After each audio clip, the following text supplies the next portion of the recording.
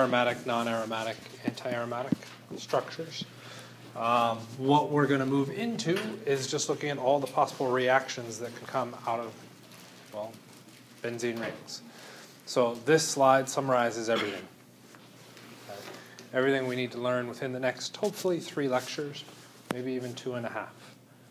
Right, has all the bits and pieces you need. So, with that, let's move into the beginning of it, the largest section, the EAS electrophilic aromatic substitution.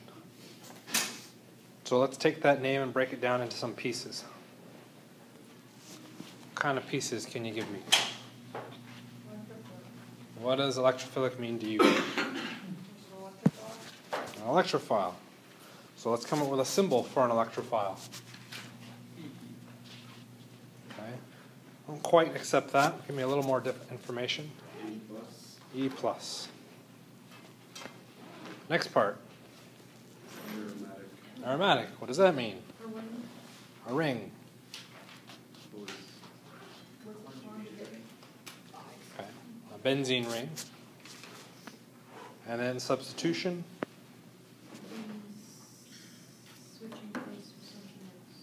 Okay. So it's a type of reaction. When you be predicting a product. I didn't space this out nicely, so I'm going to shift this around a little bit.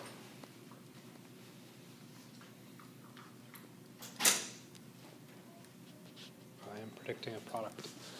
Uh, would we expect the ring to be the electrophile at the same time? Any ideas? No, Why not? because it has pi bonds, source of electrons, which is more nucleophilic. And an aromatic ring has pi bonds, and all of those pi bonds are sources of electrons. We would expect it to act as a nucleophile, not an electrophile. Okay? So at a first blush, we could compare it back to functional groups we've already seen. We could look at an alkene, and alkenes react as nucleophiles or bases. They do not react as electrophiles. Okay? So that would suggest that I now have all of the reagents to run a reaction. I have an electrophile and I have my nucleophile for the benzene ring. To do the substitution, that E needs to sum- substitute for something in that ring. Well, what's in that ring? Hydrogens. What else? Carbons. So we get two possible results that we could consider when looking at this. We could look at the substitution where we somehow exchange a hydrogen for our electrophile. Or we could look at the situation where I've ch- exchanged a carbon for the electrophile. Which of those two do you think is more likely? Top one. Why?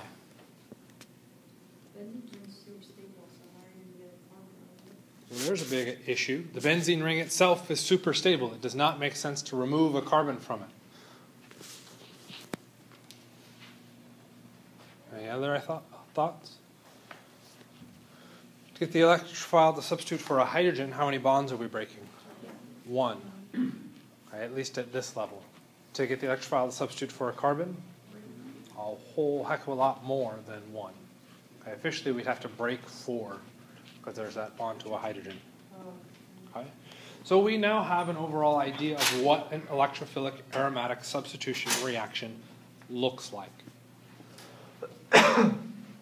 So the next question is, of course, going to become how does it do this? And what is our mechanism? So let's clean that up so we can see it all again. We've got our electrophile, we have our ring, and we somehow produce our new ring with our electrophile attached. So, what are your thoughts?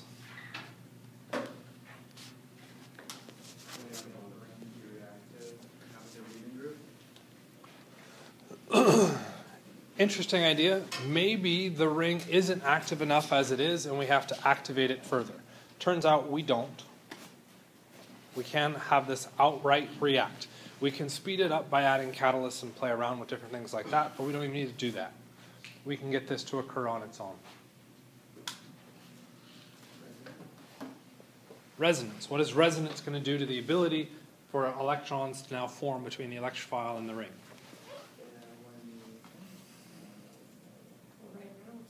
Resonance would prevent it. Resonance keeps it in the structure. We're trying to get it to go out of the structure.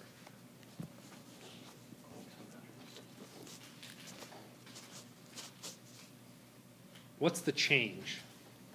Substituting an electron hydrogen. Okay. Where did the electrons come from to make the electrophile carbon bond in our product? Came from our aromatic structure. Why are you saying the pi bond? Our electrons are located in the pi bond. Those also happen to be the highest energy ones. Yes, there is resonance that makes them stable, but clearly this reaction happens. We're now trying to come up with an explanation for how it happens. Okay? So we'll take electrons from the pi bond. Which pi bond? Doesn't matter because now we can go to Sean. Resonance. All of those pi bonds resonates with each other, which means it does not matter which pi electrons I take. For the sake of this drawing, I'm going to take these electrons. Okay? And I'm going to show those go to the electrophile. What's the result?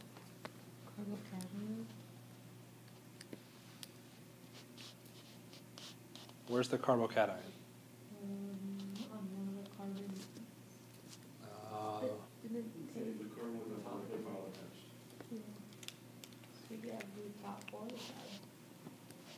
so I heard where the electrophile is attached. Oh, where the electrophile is not attached. Sorry. Why could it not be where the electrophile is? There's an implied hydrogen. Now what happens? Positive carbon needs electrons.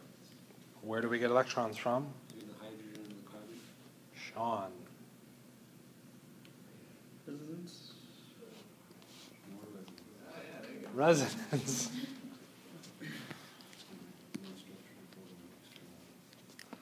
Okay, we need to show that we're allowed to form this structure. We have destroyed what in the process of making this structure? How have we destroyed stability? Okay. Went from uncharged to charged. Anything else?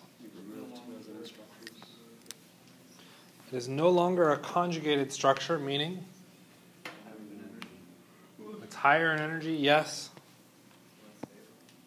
Okay, everybody on Wednesday doesn't have an excuse to everybody that missed. it is no longer aromatic. Okay, so it is very high in energy. We took a structure that was three bonds, three pi bonds, so we would have expected high in energy, made it two bonds, okay, but we've lost that continuous resonance. That structure is fairly high in energy.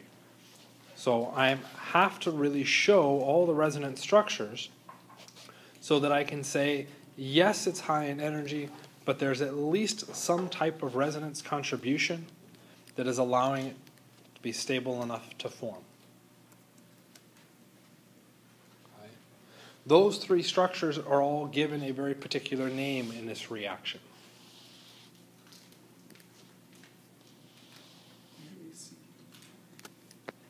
And it has to do with the carbon where our electrophile is attached.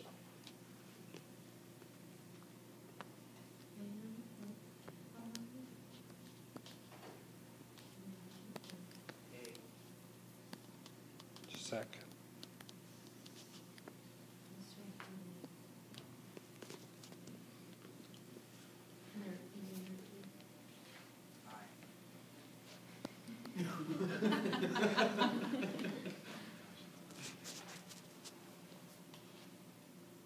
What is special about the bonds that that carbon has?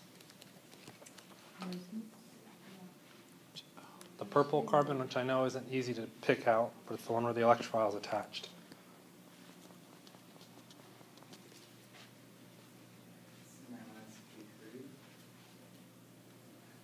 Which means what types of bonds are available to it?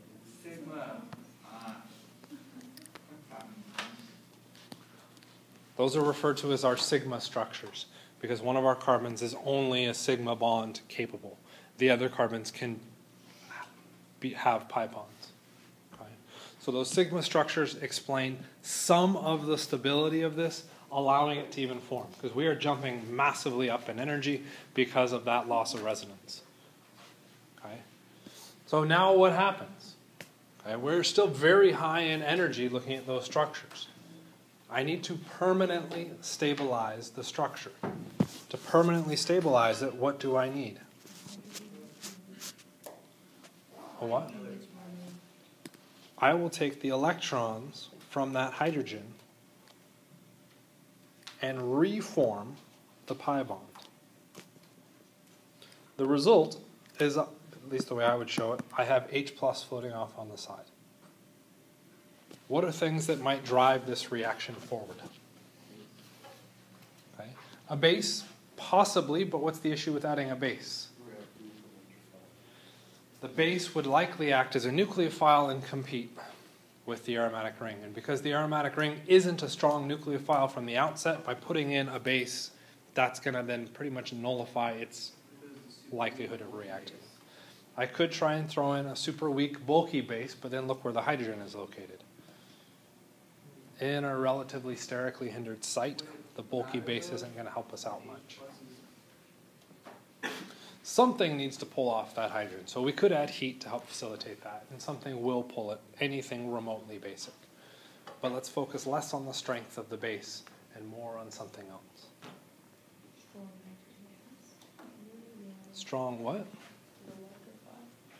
What if we had a really strong electrophile?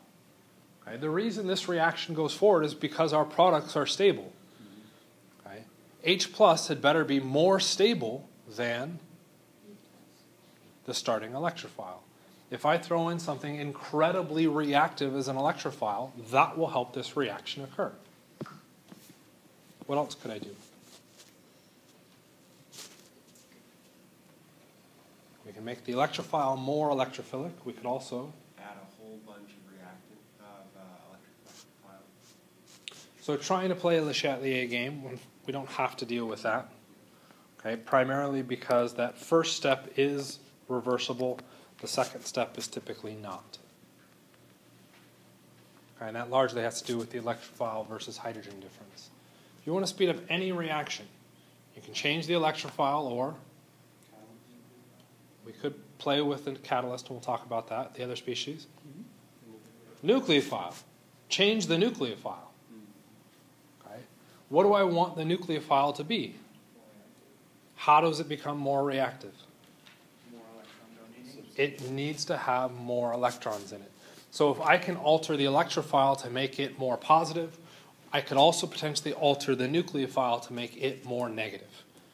Okay, so we're going to look at how we can change those different effects and how that'll contribute to the overall reaction. The first chapter is primarily focused on the electrophile. What are the reagents allowing us to do one reaction? Which I think is 22, 23, 22. 23 is then what happens once we've put something on it. Okay, when we started this out, which hydrogen did we substitute? Did it matter? No. Why not? They're all the same. They're all the same. If I now go through and change my structure and I say start with the electrophile attached, is it going to matter which hydrogen now? Yes. Okay? Because not all of those hydrogens are identical. So it's looking at those patterns and trying to recognize them and manipulate between them. Kind of makes sense? Okay. So if we wanted it prettier, there it is, nice and pretty. Okay. So speeding the reaction, looking at your electrophile. We want to make the electrophile more electrophilic. Take our positive and make it more positive. So we've got several electrophiles shown below. Which of those would you expect to be the most electrophilic? What do you think, Laura? The one with the positive sign is probably going to be the most electrophilic because it's positive. Can we get any more positive than, positive? Mm-hmm. No. Okay? So that is probably our most electrophilic. So if we were going to rank these, we would say that's the most is one. How about between the next two?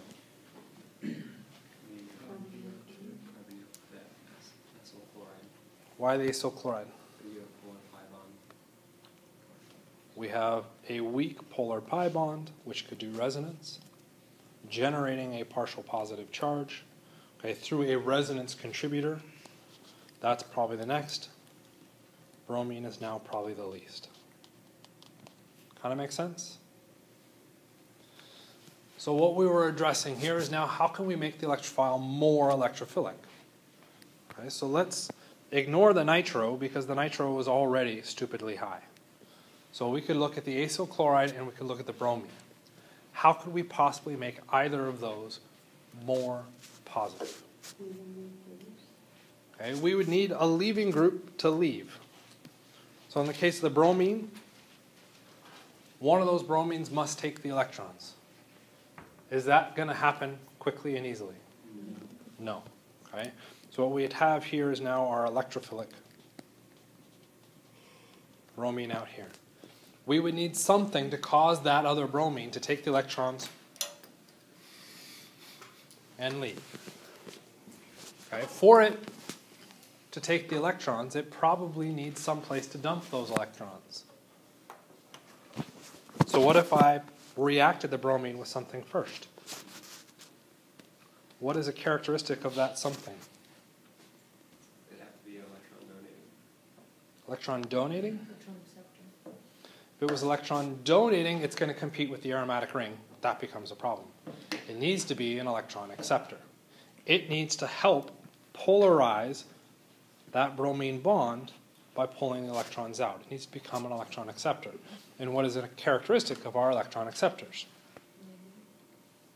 Electron acceptors should be positive. Okay. There's an interesting thought. What did you just suggest? I just had HBr. I now have a strong acid. That strong acid generates H plus. What does that H plus potentially do? Weaken the bromine-bromine bond, helping further polarize that. One of the catalysts we could add is an acid. Whoops, wrong eraser. Okay, as long as I have an acidic hydrogen, I'm doing okay. The issue with HBr, though, Strong acid.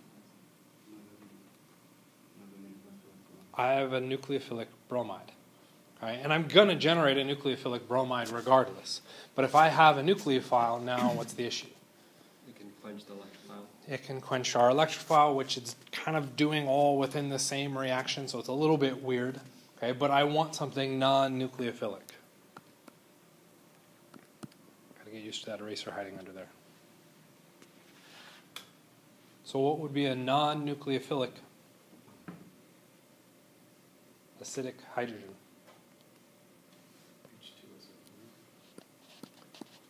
H2SO4 would work. Okay. What's the problem with sulfuric acid?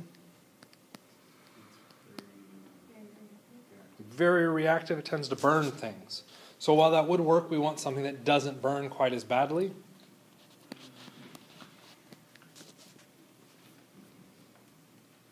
What's the name of that one? Acetic acid. Acetic acid and the presence of bromine now works out really well. We have a very electrophilic bromine because that acid helps polarize that bromine bromine bond, and we get a decent electrophile out of that. Okay? If we want to really, really mess with the strength of that bond, we can switch to an entirely different catalyst. Could drop in a metal. What charge do our metals typically carry? Positives. Let's go through and throw on three more bromines. Now what happens? It's super positive. Okay, but our metal does not make very strong bonds with carbon structures. The bromine can donate its electrons in. We don't have another catalyst or another electrophile to compete, and we now have a good electrophile in our bromine. Okay. Both catalysts we looked at generated or brought in some kind of positive. The iron tribromide works through a different result, or not a different result, but through a slightly different reaction than acetic acid. Okay? But these are both catalysts to the reaction. How would I name them? How could I classify them as a catalyst? What are they acting as? The bottom one should be straightforward and easy. Mm-hmm. An acid. What's the top one acting as?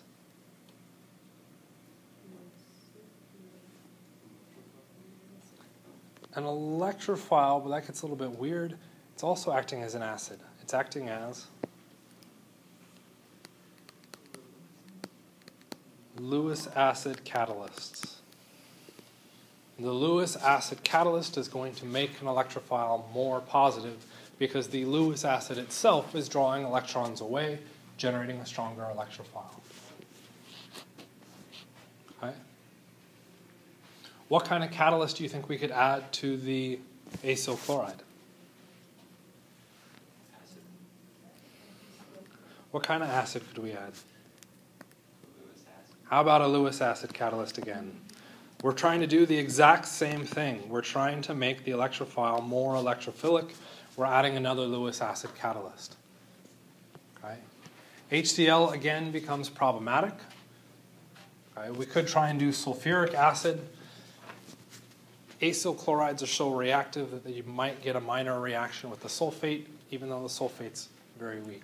So the catalyst we end up adding there typically is another metal catalyst. Aluminum trichloride. How does aluminum trichloride work as a metal catalyst? What is special about aluminum?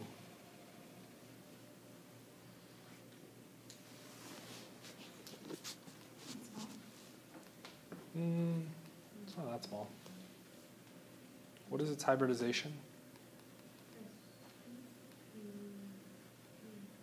SP2. What's left over? A p orbital. What could we put in that p orbital? Electrons from our chloride. Okay. Same way as the iron. The issue with the iron, though, is it's now pretty deep into your transition metals, and we're seeing the d orbitals become active in helping with that electron transfer.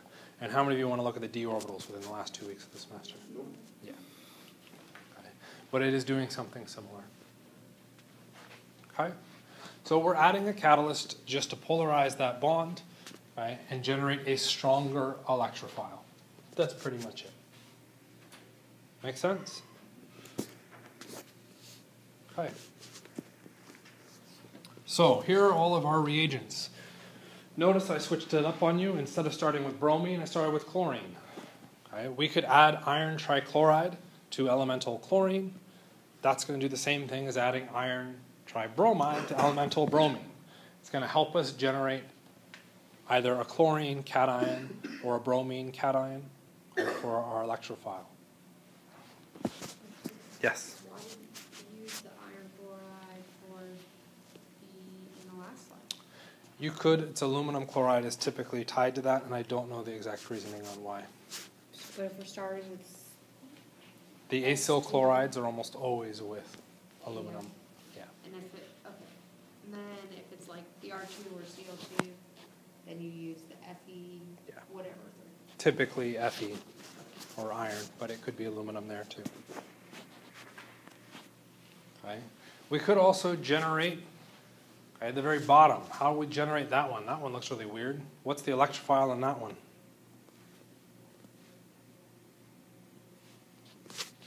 Which atom is electrophilic?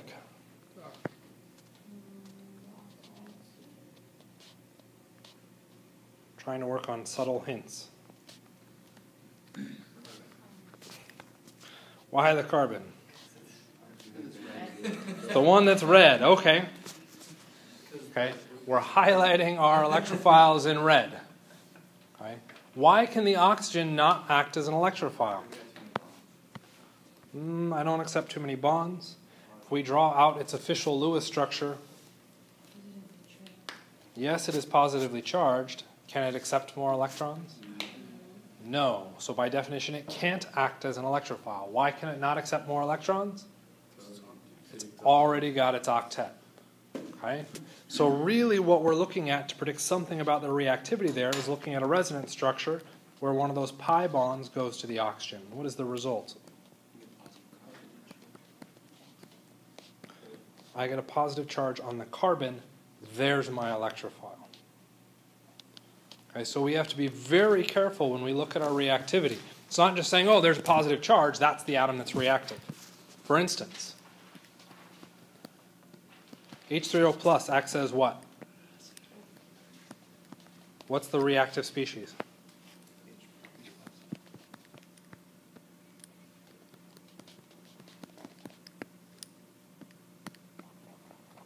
So, new question. What's the reactive species? The purple one.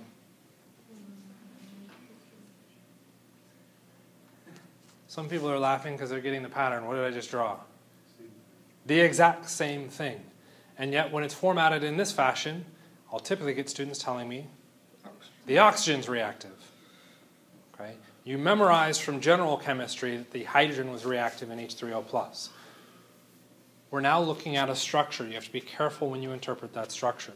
The hydrogen is still reactive in H3O plus, even though the oxygen is the one that's charged, because the oxygen wants to accept its electrons or take its electrons from hydrogen. That's what's generating the H. Kind of makes sense? So be a little bit weary, leery, leery. Be leery? I think that's right. Is that the right word? Be cautious around charged atoms. Make sure that you're actually identifying the atom that's going to react. Yes. Is this something we could see in the ACS? Yes. Okay. I personally like the last one the most. You guys might like it too, because it has a fun name.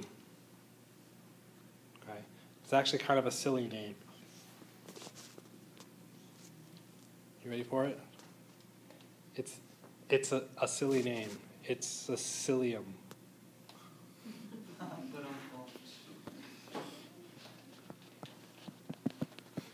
It's the acylium ion. So you may see that pop up just because it's a fun one. Okay. How could I possibly get an R positive? What is R typically? Carbon. So what we're asking is how do I get a positive carbon? Huh? Okay, the acylium could work, but then I'd be specifying all those extra pieces. And I'm not specifying all those extra pieces. I'm just saying, boom, positive carbon. What was that? Grignard gives you negative carbon. How do I get a positive carbon? Okay. Could go through and say, well, it's attached to bromine or chlorine, right? Is that a strong electrophile? No. Okay, we can't actually form the positive carbon because it's not stable. Okay? So I like where you're going with that, but it's not getting you to the answer. Change the structure so that you can get a positive carbon. Polar pi bond. What's that? You can attach to a polar bond. Uh, you mean like the acylium ion? Good try, but no. We already did that. That's the acylium ion. Give me some other modification. You want a hint? Acetyl chloride takes you all the way back down to the acylium ion. This one doesn't work. This one works a little better.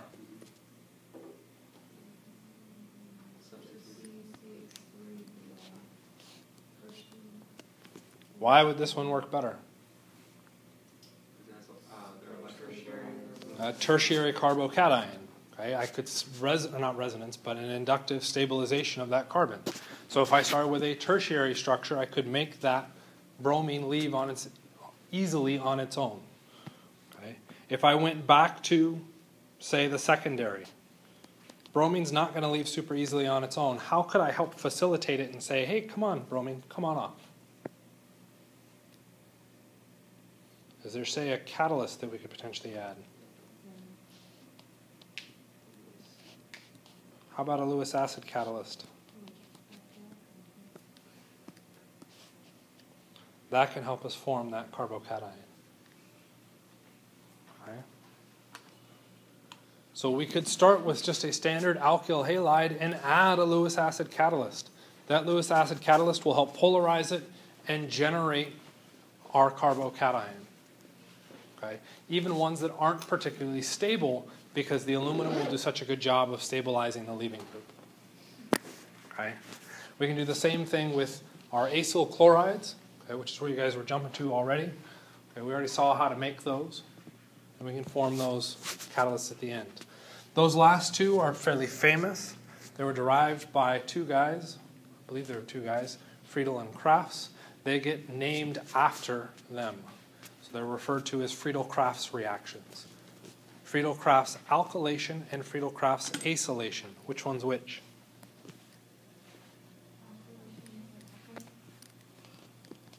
Alkylation for the top because all we're adding is an alkyl group. For the bottom, it's the acylation because what are we adding?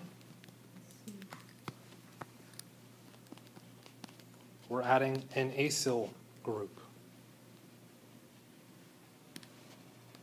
Okay.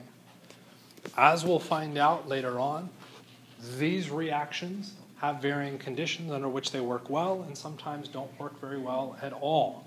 Okay? We've kind of already addressed that within the alkylation. What are the odds I can get the alkylation to work well with a primary alkyl halide? Not very good because primary carbocations aren't likely to form. Okay? So the alkylation does have some significant limitations because of that. I can't form that electrophile very easily. If the electrophile doesn't form, can the nucleophile attack? No. The acyl works a lot better because it is resonance stabilized as a final product. That resonance stabilization allows it to form. Once it forms, we can then have the aromatic ring attack. Okay? Kind of makes sense? Yes, Ree. Does the acylation only happen when chlorine is attached to the carbonyl group, or is it any sort of? Any kind of halide, you'll typically see it as chlorine, probably because of cost um, and maybe even toxicity.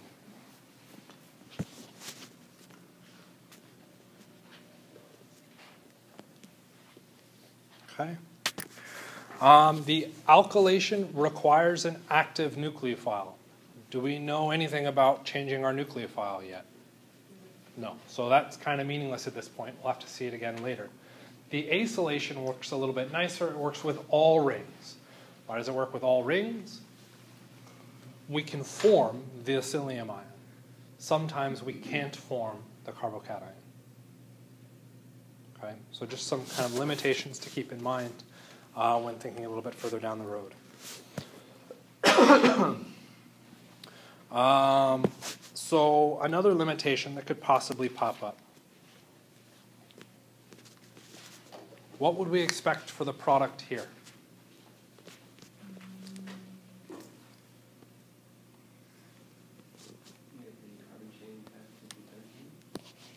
We should have our benzene structure where we did the substitution for our, our electrophile, which is that carbon.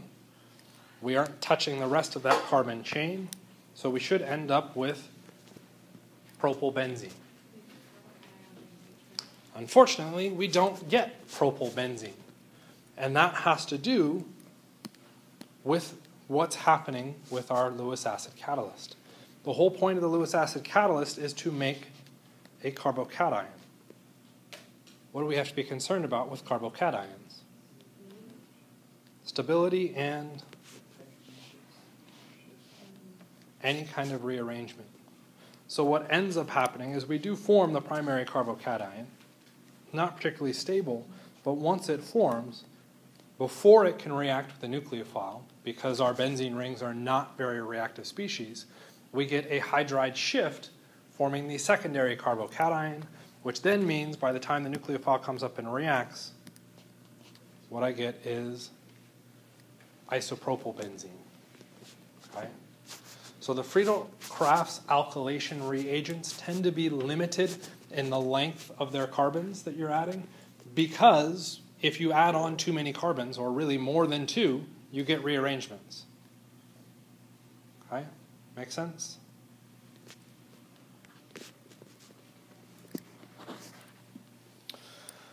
Um, what would we expect here?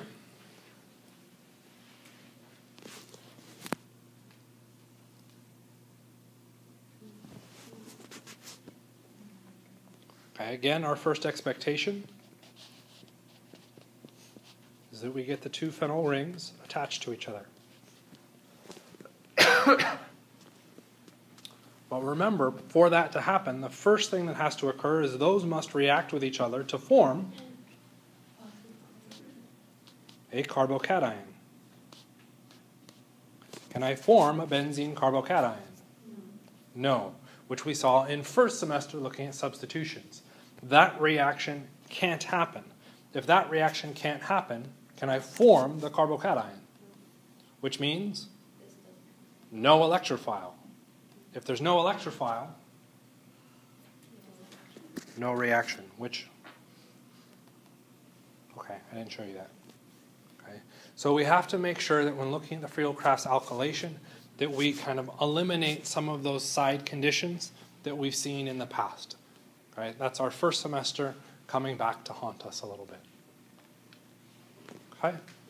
Questions about that? Okay. How could I possibly generate the nitro? I need a positive nitrogen. This is an interesting one. Positive nitrogen with oxygens attached to it. Have I seen nitrogen with oxygens attached to it before? I think we've talked about it this semester. Any guesses?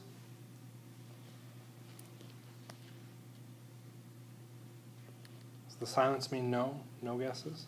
Yeah, no guess.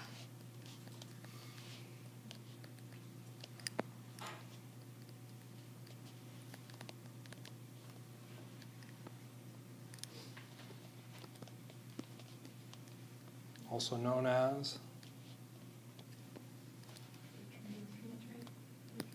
nitric acid. Okay. That's looking pretty close. In fact, I could even start to say, well, if I had those electrons shift over, I could then potentially kick that out, and I'd have the nitro. But what am I kicking out? Okay, a really bad leaving group, hydroxide. Well, hydroxide in a really bad environment isn't that big of a deal. It's hydroxide going into what kind of an environment? An acidic environment. I'm taking a strong base and dumping it to one of the most acidic environments ever. Mm, that's a really bad idea. Can't do that. Okay? So, what has to happen before I can kick out that OH? It needs to be protonated. If I can get that protonated, what happens? Then I have a good leaving group in water. I've got a positive next to a positive, which is also highly unstable. This can kick, this can kick, and I would end up with my nitro. How would you, how do you just react with the negative charge from the oxygen? That's already there. So all you would end up doing is sliding that hydrogen back and forth between those oxygens, which does nothing to the structure. Okay. Is that a possibility? Sure. But It it does nothing to the structure. What does nitric acid act as?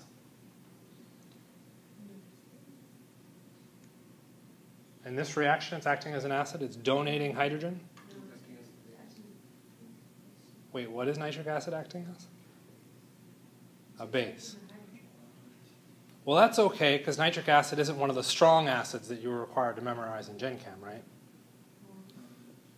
Oh, wait. Yeah, nitric acid is a strong acid, which by definition dissociates into the acid components. Mm-hmm. And yet, here, what's happening?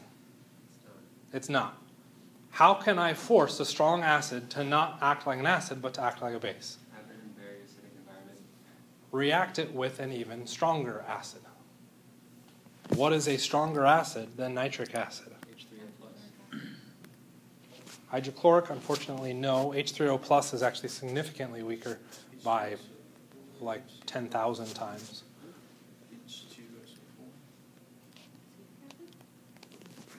Sulfuric acid. If I mix nitric acid with sulfuric acid, the sulfuric acid is acidic enough that it will force a hydrogen onto the nitric acid structure. As soon as that hydrogen makes contact with nitric acid, it very quickly dissociates into water, and our nitronium ion, our active electrophile. Tends to be a rather famous reaction to ask questions about because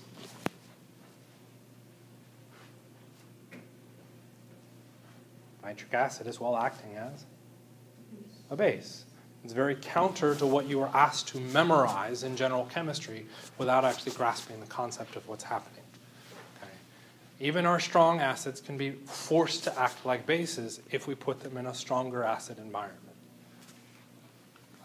In organic chemistry, we tend to kind of run into a limit here because we use acids that are much stronger than sulfuric acid. It just destroys whatever the hell we're working with, so we tend not to use those or see those.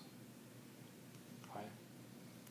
But this gets us our active electrophile. We can now do the EAS reaction or react it with the benzene structure. Kind of make sense?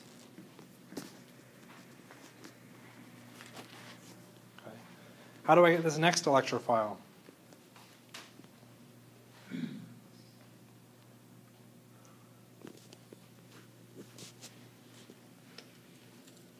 Where did I get the nitro from? Nitric acid reacting as a base with a stronger acid. Where might I get SO3? From SO4. What's a stronger acid than sulfuric acid? Well, it turns out in this case, really, sulfuric acid. Sulfuric acid will react enough with itself to generate a very small concentration of this electrophile, which then means our benzene ring can react with it and we can attach a sulfate to our benzene structure. That reaction becomes very, very powerful because sulfate or that SO3 structure does not want to exist, it wants to be with oxygens. So, what is the lifetime of the sulfate actually attaching to the structure? It's actually a reversible reaction. Most of our other reactions are non reversible. I can reverse the sulfate substitution. Okay? So it's pretty cool because of that. Last one. This should look really familiar. What does that one look like? What atom is the electrophile? Carbon. How do we abbreviate carbon electrophiles? R plus. Have I not seen R plus before? Friedel Crafts. So why am I adding this back on? There's another way. It's not just Friedel Crafts. In the Friedel Crafts, I just had R plus. Notice in this one, I've added a bunch of extra stuff.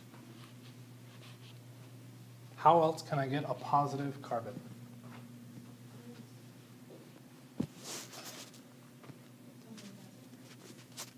Believe it or not, yes. Sulfuric acid with what?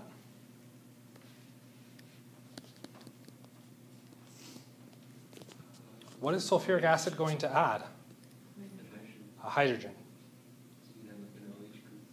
So we need a source of electrons. So there's a theory. I didn't actually consider that one. That could work. We could do an OH. When we add the acid, what happens? Water turns into a great leaving group, potentially leaves. Try that again. Say that a little bit louder. What if we had an alkene? What's reactive? The pi bond, the pi electrons can come out, react with the hydrogen from our sulfuric acid, leaving us with a carbocation. Okay? And we then have another electrophile that can potentially react forward with our benzene structures. Kind of make sense?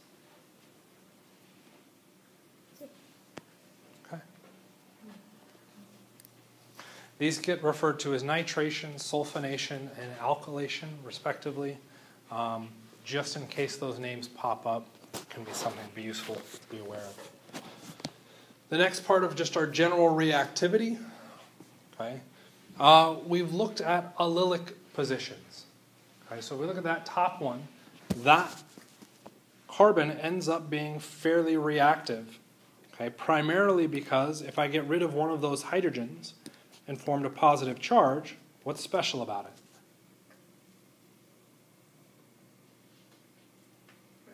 Resonance, which means stable.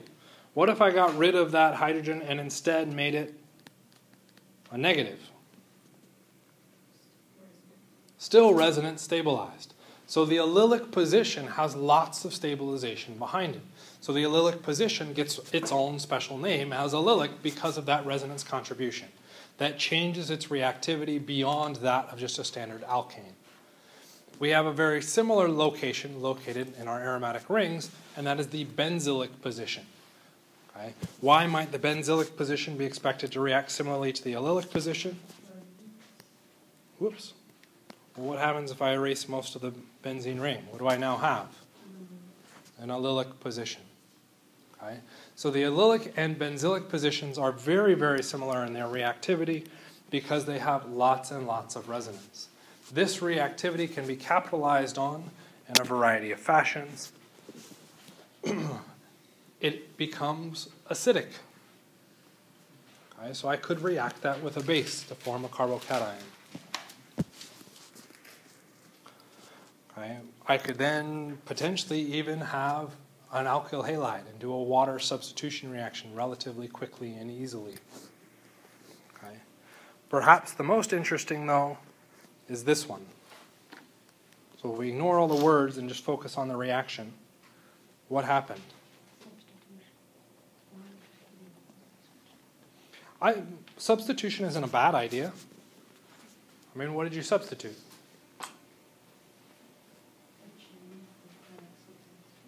Mm. Oh, I see where you're going with that. Uh, unfortunately, not this carbon, and this carbon is the same. So the primary answer is an oxidation reaction. We don't typically classify it as a substitution because substitution is looking at just the simple kind of exchange of electrons. We're not looking at an exchange here, we're looking at a full on transferring of electrons. So it is an oxidation reaction. To do an oxidation reaction, what kind of reagent do I need to add? An oxidizer, like chromic acid. Okay? Chromic acid will oxidize that very well. Are there other oxidizing agents that'll do the same thing? PCC is an oxidizing agent, but what did that PC stand for? Politically correct, meaning it's weak, not going to work. KMNO4 will also do the same job. Okay? So we can add the permanganate or chromic acid, and that will convert an alkyl chain into a carboxylic acid. Okay? Why might we want to do that? Couldn't we have just done a substitution of the carboxylic acid immediately onto the ring? That's an interesting idea. How could else could I have made this?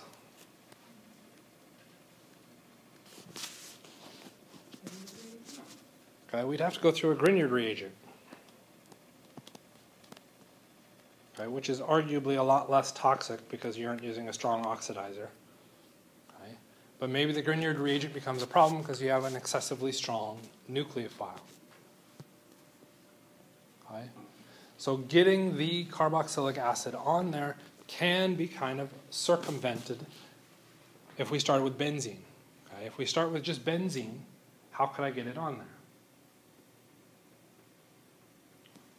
I could put on the alkyl chain first. Once the alkyl chain's on through a Friedel-Crafts alkylation, I can just oxidize it. There's my benzoic acid. Okay. Um, there are limits to this reaction. Okay, for it to work, you must have at least one benzylic hydrogen. If you have one benzylic hydrogen, boom, benzoic acid. Right? So it's a relatively quick one to memorize. Uh, when it comes to the mechanism, does anybody want to see the mechanism? I like the nose because I don't know the mechanism. Um, it'll just cleave off all those carbons into a bunch of other junk. Don't worry about what that junk is. You get benzoic acid. Okay? That's your focus. And with that, oh, let's take a look at this one. What do we expect here?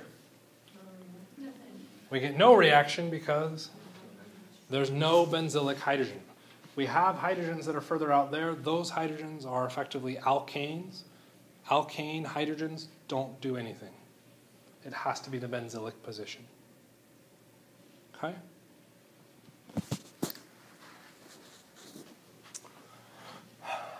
Oxidation of carbon side chains. So here we go. What do you guys think?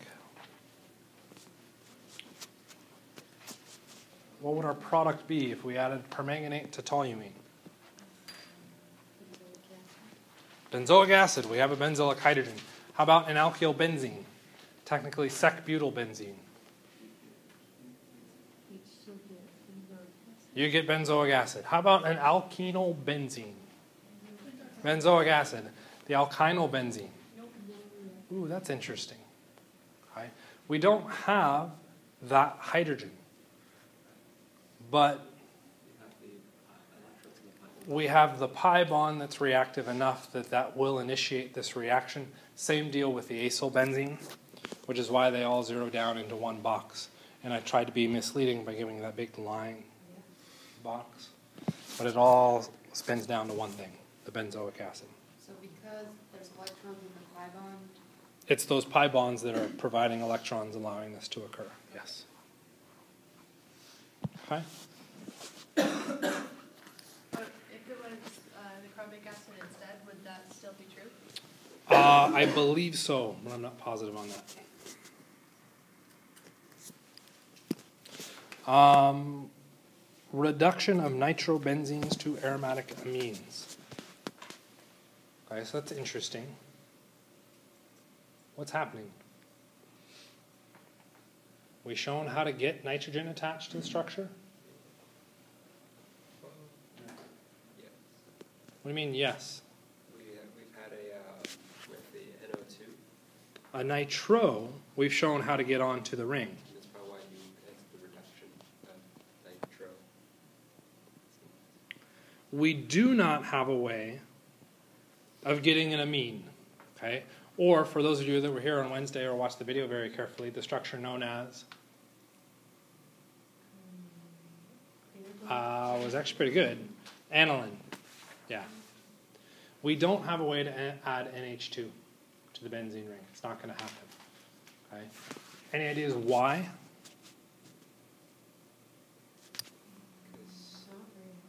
What does the nitrogen have to act as? An electrophile. In the case of the NO2, what's special about the oxygens? They are electron withdrawing, making the nitrogen positive, making it an electrophile. What's the issue with the anilines? We'd have hydrogens, and the relationship between hydrogen and nitrogen. is the hydrogen would up, um, If anything, hydrogen's donating electrons to the nitrogen, making the nitrogen more nucleophilic, not electrophilic. So we cannot directly add NH2. We have to go through an intermediate step, and that's taking it to the nitro functionality. Once we now have the nitrogen attached, how do we get rid of the oxygens? Right? How do we decrease oxygen bonds and add hydrogen bonds? We need to do a reduction. What reduction or reducing agents are we aware of? H2 and a metal. Okay, you can throw in Raney nickel, you can throw in platinum, palladium, all of those. All of those will work out fairly well and do that reduction. Okay, within this chapter, we end up adding a new one, okay, which I personally find very, very irritating. A dissolved metal reduction, HCl and iron, or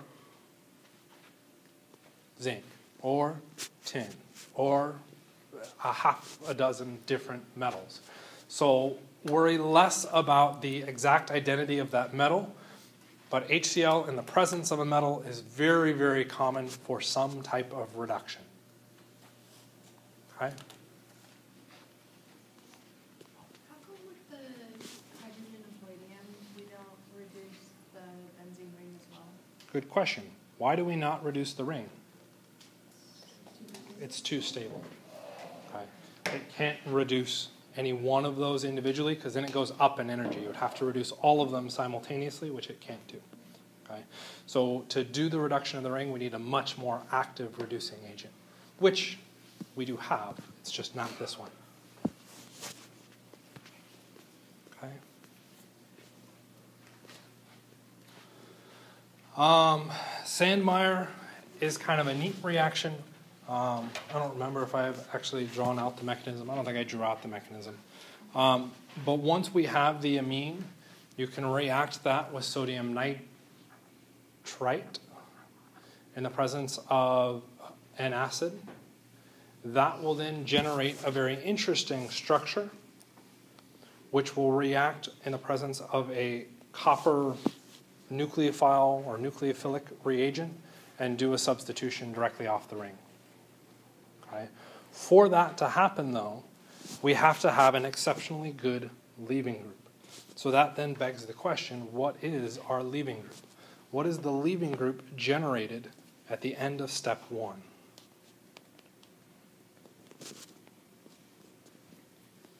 Well, what's the reactivity that you see up in those structures? What's that? Okay, we could look at the carbon. Which carbon is reactive? Uh, the one on the benzene? How is it reactive?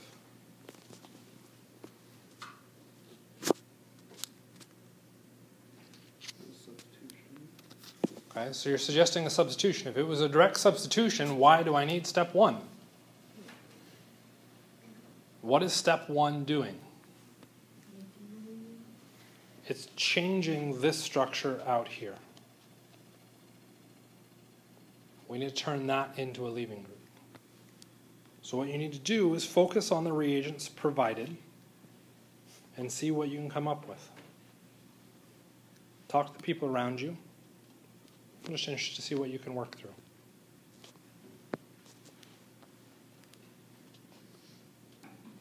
And I'll even be nice and draw this out. Oh, shoot. This one's a little bit harder. But I'll be nice and draw the Lewis structure for the nit- nitrite.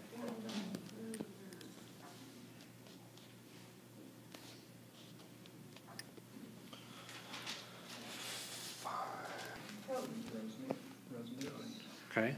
We could attempt to do resonance, but now what happens? You would exceed the octet on the nitrogen. It's not even the nitrogen's positive. And we'd have the exact same structure. So it's not a bad idea to look at that, but that doesn't do anything productive. So where else can those electrons go? Our only real choice is to the hydrogen. Okay, so now what do we have? So we've now neutralized that reaction or that charge. So now what? You want a hint? What if I draw on this?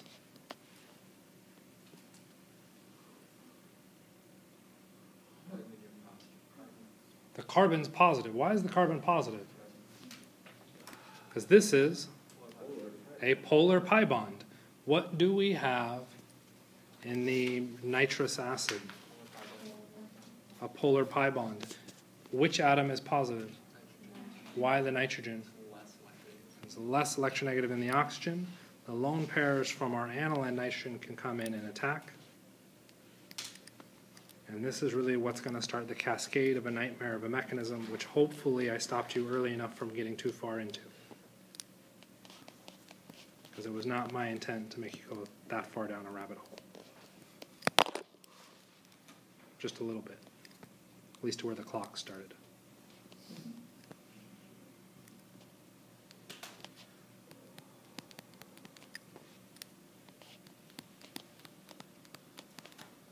We now have a negative oxygen.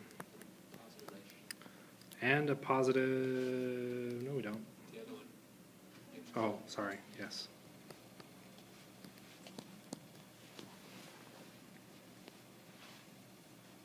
What can we do? You could lose a hydrogen. We could lose a hydrogen. I'm going to accept that and not draw it. Or you could gain a hydrogen on the oxygen. Okay, we can gain a hydrogen there. Also, accept that and not draw it.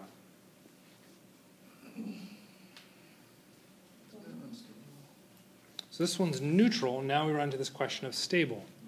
This would be the equivalent of The, uh, amino acid. our tetrahedral intermediate back in our carbonyl chemistry. And what happened with that? We reform our pi bond by kicking out a leaving group. So we need to reform our pi bond. Where's our pi bond going to reform? Oxygen and the nitrogen. Why?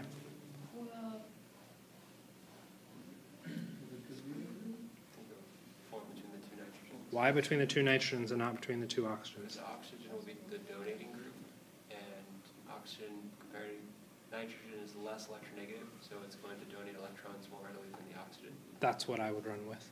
Say the nitrogen is going to be better at donating electrons in because it's less electronegative than oxygen. So it should share electrons, making a polar pi bond. Okay? We will end up into a semantic argument because I'm going to guess that's not what the textbook drew, Jen. Yeah. You're going to get into a semantic ar- argument on where that polar pi bond forms first. Is it an argument that's worth fighting over? No. Okay. Is it worth mentioning that probably the nitrogen's better? Yeah, I think so. Okay. But what would happen now if that nitrogen shared its electrons in? I would exceed the octet, and I can't do that. I'd have to kick out a leaving group. But what are my leaving groups?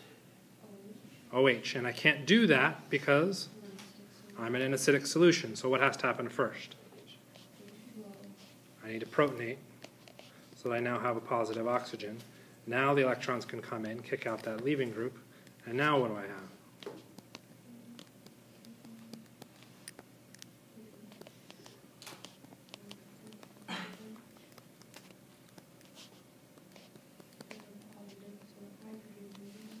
So I can remove that hydrogen.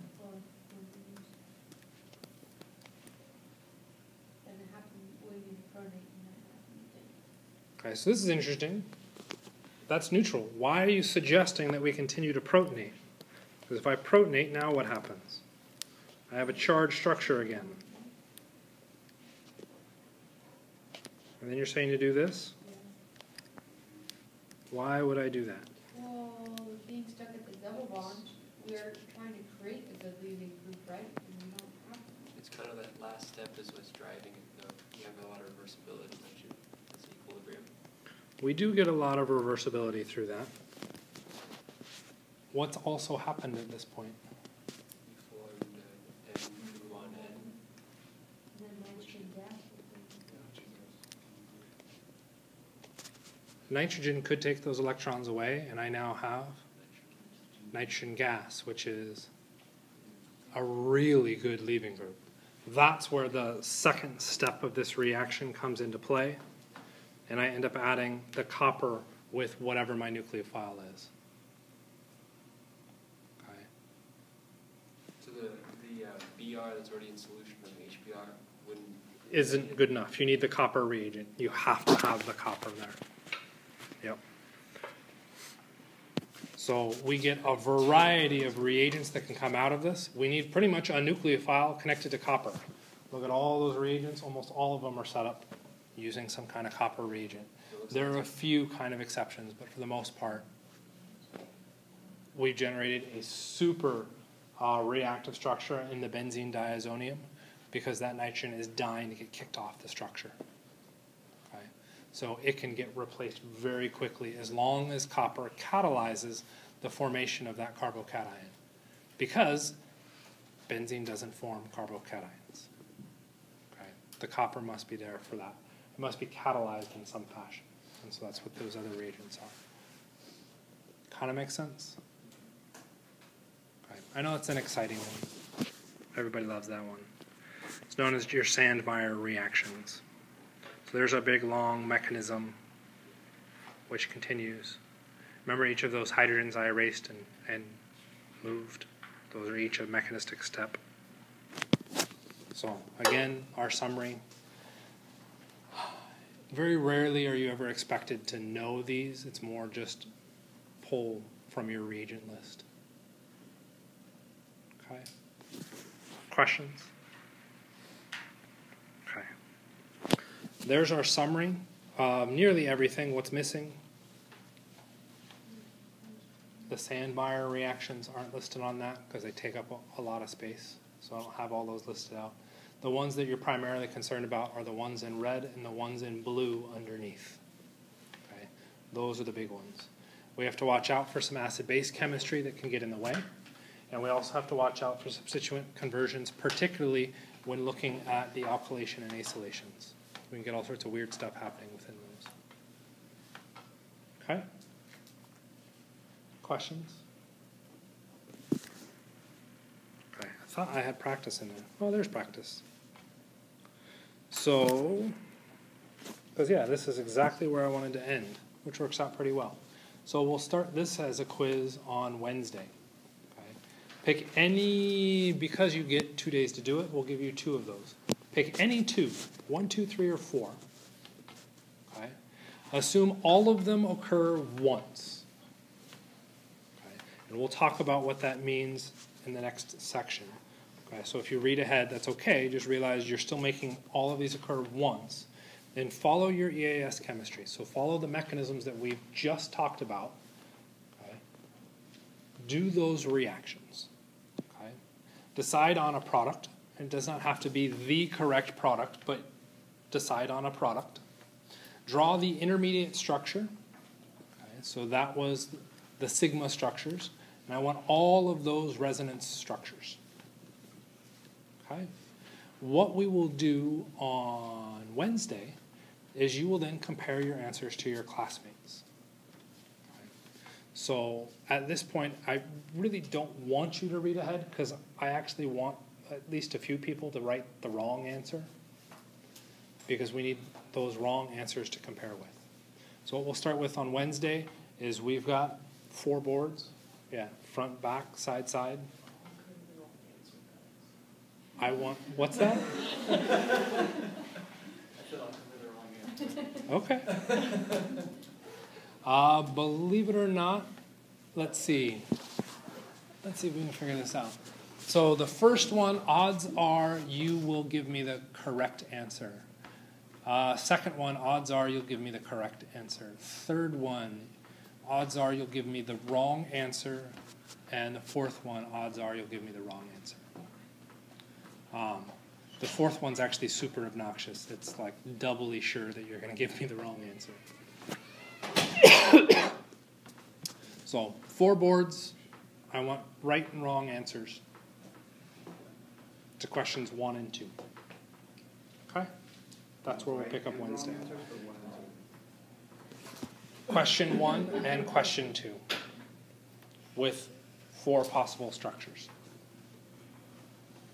So if you guys don't do them all, I will give you right and wrong answers